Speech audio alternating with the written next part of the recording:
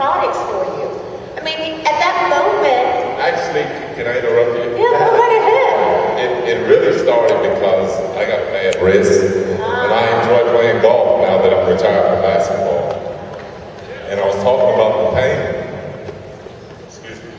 Ate too much popcorn in the back. but I was talking about the pain in, in my wrist, and I was telling, um, I think JR or maybe one of your brothers that, you know, you guys needed to create a formula to kind of help out a little bit with, with my joints and my aches and pains so I can, I can continue to play golf and maybe one day have a career. And you know what? We've done just that because this product, guys, Prime Joint Support Formula is so amazing. And I wanted to take a minute just to stress to you guys that this is not just for athletes or people like yourself. Truly, truly, you're, you're right.